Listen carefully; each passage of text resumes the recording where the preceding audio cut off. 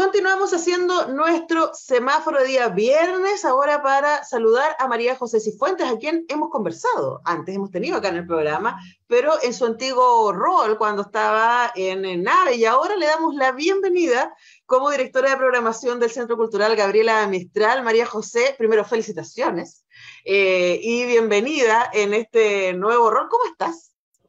Muy bien, muchas gracias Antonella, muy contenta también de estar hoy desde GAM ya diríamos que se cumplió el primer mes, comencé el mes de julio y ahora ya empezamos agosto en esta nueva casa que me tiene muy contenta y bueno, descubriendo también cómo funciona un espacio como, GAM, que a diferencia también de nave, no son otras escalas, sobre todo en relación a lo que implica el trabajo en lógicas de exhibición, ¿no? Las salas, justamente el, el, tema de las plazas, todo lo que se activa en este espacio que es maravilloso.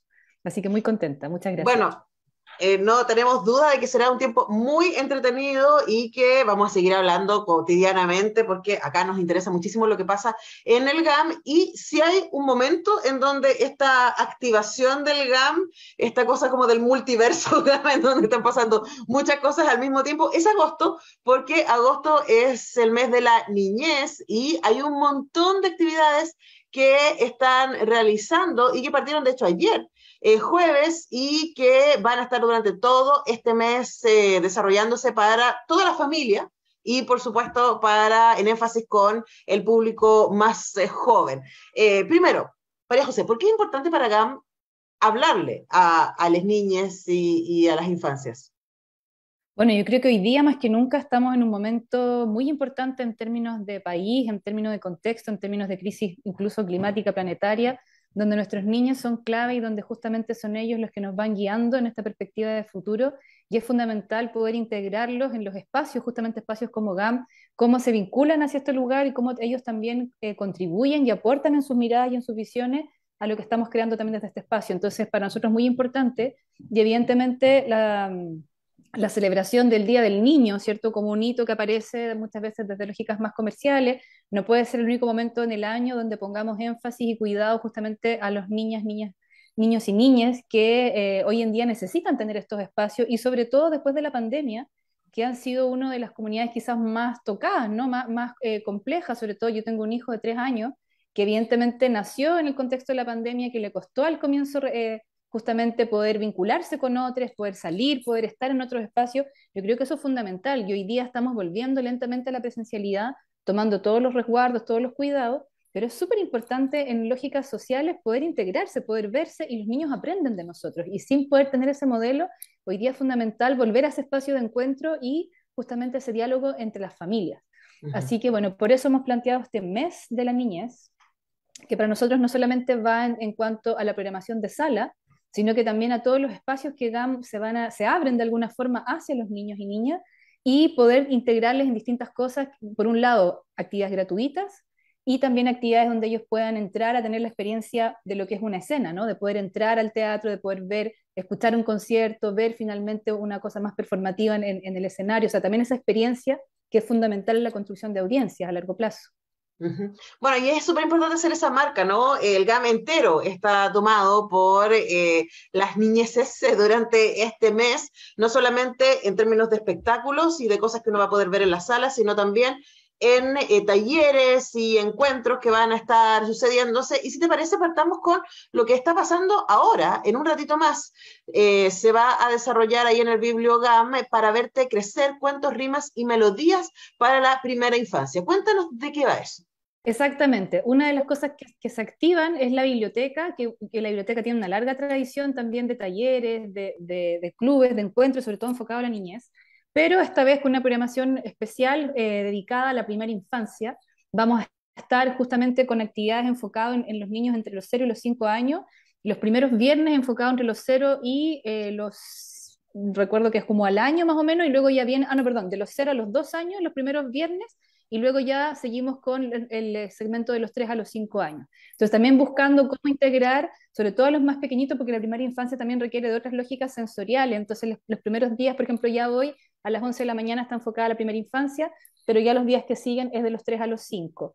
Eh, la biblioteca, bueno, tiene un, un cuentacuentos maravilloso, o sea, se ha trabajado desde GAM, ustedes pueden ver también en el canal de YouTube, hay bastantes ahí cápsulas de lectura con las cuales también pueden aprovechar estos días si no quieren salir tan temprano, ya pueden empezar a empaparse del espíritu viendo algunas de las cosas que se han hecho en los canales de YouTube de GAM. Y por otra parte, bueno, estamos con un proyecto que, que nos gusta mucho, que hemos creado, que es la ludoteca, que va también a estar en diálogo con las cosas que pasan en biblioteca, pero que es un espacio que se activa principalmente los días 7, 13 y 14 de agosto, que lo pensamos justamente como un espacio de contención y de juego libre, porque muchas veces mismo en GAM, eh, si bien algunas comunidades se toman el espacio, ¿cierto? Ustedes recuerdan toda la generación del K-pop que venía a bailar acá, pero eventualmente los niños no tienen muchos espacios de juego dentro de GAM. Entonces, una cosa que hemos estado haciendo justamente con el área de audiencia es, y de programación, poder pensar el espacio de otra forma. Y hemos creado esta ludoteca, que es un espacio de juego libre, que se va a activar desde las 2 de la tarde hasta cerca de las 7, así que pueden traer sus familias a los niños acá, porque van a tener un espacio de contención, de apoyo, de juego libre, y que además va a tener algunas actividades vinculadas, por ejemplo, a experiencias con hula hula, con yoga, vamos a estar trabajando también con la Biblioteca de Santiago, que nos va a facilitar, materiales, van a poder dibujar, van a poder jugar, entonces también es un espacio de cómo un centro cultural puede acoger a los niños y poder eh, justamente aportar con este espacio de juego libre. Para luego irse a las salas, quienes quieran, vamos a tener eh, distintas obras y una cosa muy interesante también es que quienes no conozcan el edificio y, y entendiendo también que este espacio cumple 50 años de existencia, vamos a tener además visitas guiadas especialmente para familias, con un formato pensado en los niños. Entonces también es interesante porque además de conocer el espacio, van a poder conocer la historia de este edificio, van a poder entender cómo se eh, ha transformado el espacio de GAM, cómo ha, ha mutado en estos 50 años, a través también de un relato dedicado especialmente a las familias, donde los niños van a poder jugar y tener cosas más interactivas en ese recorrido. Así que vamos a tener la ludoteca y vamos a tener las visitas guiadas que van a ser también parte de esa agenda. Y luego lo que les decía, la sala, vamos a, estar con Nerven Anselen, que es un colectivo que lleva ya muchos años eh, dedicado justamente a trabajar con la inclusión a través de la lengua de señas chilena. Y este colectivo, liderado por María Cibal, presenta una serie de microcápsulas, en el fondo, inspiradas en las canciones de Mazapam. Es un concierto que también tiene un formato muy, muy eh, eh, lindo, de alguna forma, por decirlo. Yo la primera vez que lo vi, aluciné justamente por los vestuarios, por la puesta en escena, por cómo trabajan los videoclips. Ellas tienen un canal, si ya quieren también empaparse de lo que va a ser verlas en vivo, pueden visitar el canal de Nerven Selen eh, Infantil, donde van a poder ver parte también de estas performances que ellas han hecho. Y bueno, conectar también con todo lo que fue, y justo también para los, los mapadres, todo el espíritu de Mazapán que todavía nos cruza generacionalmente, pero más allá de eso, el poder verlas a ellas y el lenguaje de inclusión hacia también las comunidades no oyentes, así que también muy importante poder traer a, los niños que o sea, que justamente puedan dialogar y aprender más sobre la lengua de señas, que también para nosotros es muy importante. Claro que sí, además me encanta la idea de distintos formatos, ¿no? Porque ahí hay un juego con lo visual, ¿cierto? Y con la, incorporación, ¿cierto?, de otras maneras de experienciar eh, la propuesta artística que ellas llevan haciendo un montón de tiempo y que son muy fabulosas. A mí me encantan incluso, o sea, como pensando que una tiene la posibilidad de oír. Eh, el ejercicio que ellas hacen a mí me ha obligado a pensar incluso las, canciones que conozco desde otro lugar y esto de Mazapán no lo he visto, me da mucha curiosidad porque como tú soy parte de esa generación que creció en la alfombra mágica y por supuesto siempre es muy emocionante volver ahí y mostrárselo a las nuevas generaciones. Quiero también decir, a propósito que hablamos con María José Cifuentes, que es la directora de programación del GAM, que estas actividades están pensadas para niños de diversas edades. Eh, esto que va a estar pasando en mi bibliogar, hay actividades de niños desde cero años, es como desde primera infancia hasta eh, adolescentes. Entonces, la idea es que ustedes puedan entrar a GAM.cl, está destacado mes de la niñez y que puedan ir ahí tocando eh, para buscar exactamente cuál es la mejor propuesta para su niña y que se entusiasmen también en ir. Otra cosa que, por supuesto, me entusiasma a mí eh, María José tiene que ver con radioteatro, por supuesto, pero la idea de un radioteatro presencial, que es el día que el sol descubrió que era una estrella. Cuéntanos al respecto. Sí, también este, este es una apuesta justamente para integrar esta lógica de la escucha y sobre todo desde el vínculo de lo teatral, de esta historia donde, donde finalmente el sol descubre lo importante que es y, cómo se genera también esta lógica como de, integración que tiene el sol, pero desde un formato, bueno, está pensado de niños de 5 en adelante, Así que ahí tenemos como un rango más etario, a diferencia de ludoteca o biblioteca, que tienen espacios más abiertos con las primeras infancias. En este caso ya se requiere un poquito más como justamente para la atención, para la escucha de lo que implica un radioteatro, que sean de niños de 5.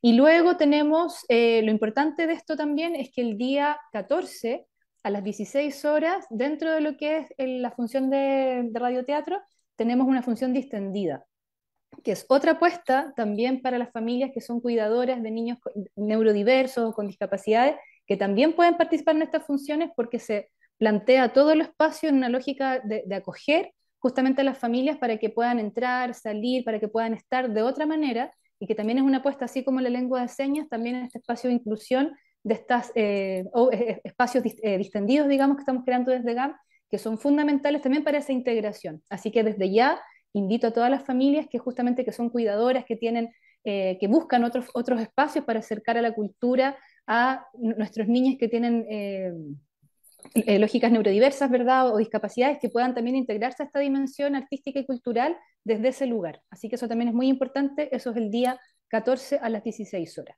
Y el día 13 tenemos a la música a través de la banda Las Tortuguitas, que van a estar presentando también todo su espectáculo, el Arlequín y las Tortuguitas, que van a estar presentando su espectáculo y Em, con todos los personajes que trae también esta, este, esta compañía, en el fondo este, esta, orquesta, y que van a poder también tocar eh, sus canciones más famosas para quienes los conocen y los siguen y ver, y ver un poquito más en escena algunos personajes clásicos también que son parte de la banda las tortuguitas. Así que eso también invitados todos para que puedan venir y participar.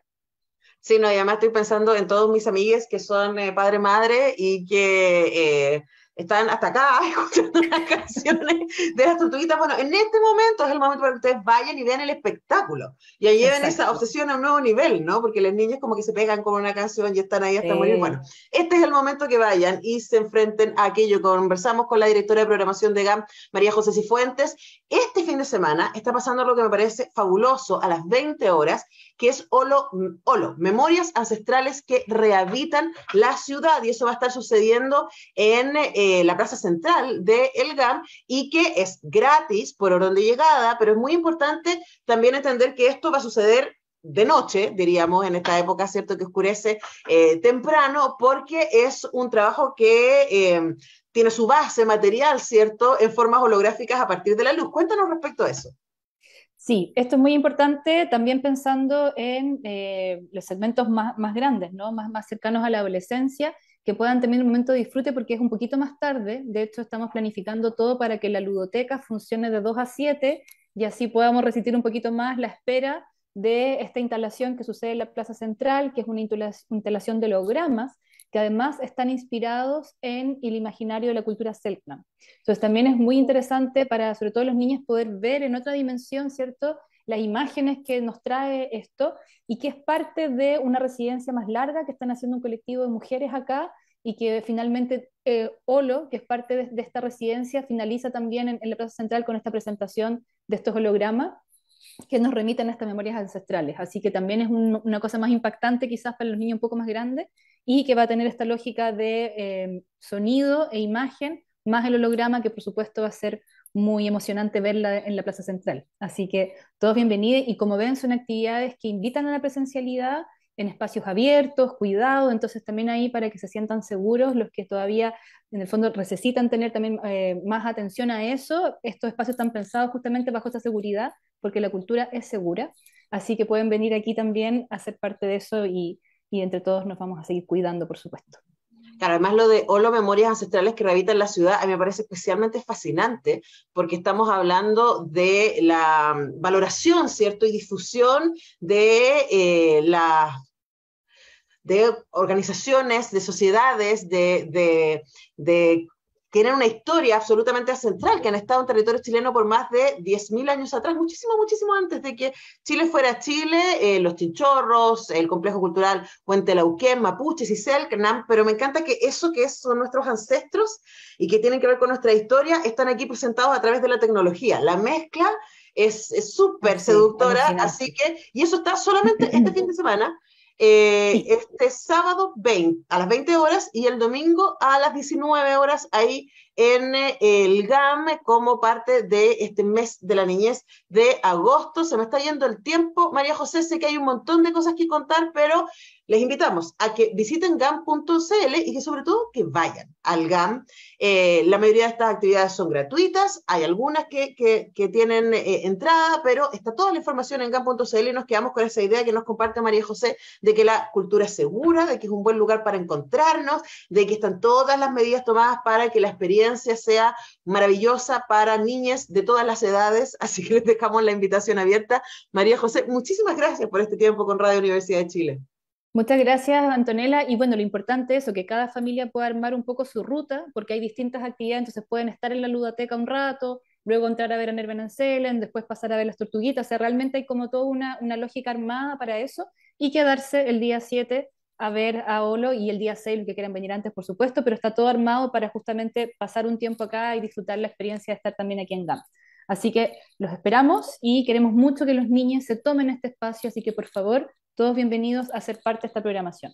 GAM.cl hay algunas de las actividades que requieren inscripción, así que está ahí en las fichas de cada, cada lugar, es muy fácil, GAM.cl está destacado, está el banner, agosto, mes de, las niñeces, y eh, ahí está cada una de las actividades con la información, con cuál es el público objetivo, cuáles son las condiciones, cuáles son los horarios, y ahí ustedes se pueden inscribir para que no se pierdan esta tremenda propuesta que nos llega desde GAM. Muchas gracias, María José. Un abrazo, que estén muy bien, nos vemos. Muchas gracias. Gracias a ti. Y con esto vamos despidiendo el programa de día viernes. Eh, yo mañana regreso eh, a las 20 horas eh, para hacer cuestión de gustos, partiendo nuestra temporada con escritores y escritoras sub 40. Vamos a estar conversando con Lucía Ramírez, autora de la novela de fantasía Laguna Negra, que está muy, muy entretenida. Vamos a conversar con ella. Y también mañana parte un ciclo especial que va a ser la República de las Letras dedicados a leer la propuesta constitucional. Así que vamos a ir, eh, si hay un libro importante, es ese. Así que la República de las Letras va a estar dedicada el mes de agosto a estar leyendo con detalle y comentando, por supuesto, en nuestro estilo, lo que es esta propuesta constitucional para que cuando llegue el 4 de septiembre estemos muy bien informados para votar con conciencia y con amor. Con eso nos despedimos y nos encontramos el próximo lunes. Que estén bien. Chau.